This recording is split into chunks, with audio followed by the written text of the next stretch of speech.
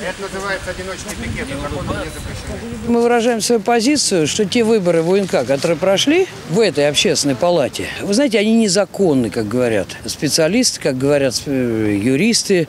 Вы понимаете, туда попали люди, которые не могут быть общественными наблю- наблюдателями в СИЗО, в тюрьмах, в ОВД.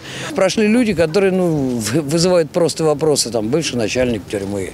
Как начальник тюрьмы, который вел одну политику против заключенных, может сейчас как бы им помогать. Кто будет следить за то, что есть там применение сил или нет, э, даже за едой, даже за условиями содержания, э, следить за тем, что там пе- перенаполнение в тюрьмах. Вы понимаете, мы требуем, вообще мы хотим, чтобы были проведены перевыборы, и чтобы это было, понимаете, чтобы эти выборы были гласными, чтобы мы понимали критерии оценки людей, которые идут, то есть которых выбирают в. А то получается, что зачем нам общественная палата? Понимаете, она как это, знаете, как, какие-то внутренние игры. Э, При этом, насколько мне известно по статистике, несмотря ни на что, на 3000 мест по стране было всего 800 заявлений. То есть недобор, у нас нет перебора. Через членов УНК мы, например, узнали, в какой колонии находится Ильдар Дадин.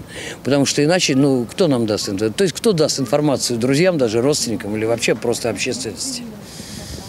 Настолько это закрытая у нас тема, и настолько это все не афишируется, чтобы люди поменьше знали. И что там происходит, даже страшно подумать. По сути дела, Федеральная служба исполнения наказаний назначила самой себе наблюдающих за ее деятельностью. Дошли уже даже до того, это, видимо, с, с нарочитым цинизмом было сделано, назначили даже фигуранта списка Магнитского, вот этого Кам- Камнова. То, что произошло, нельзя назвать выборами.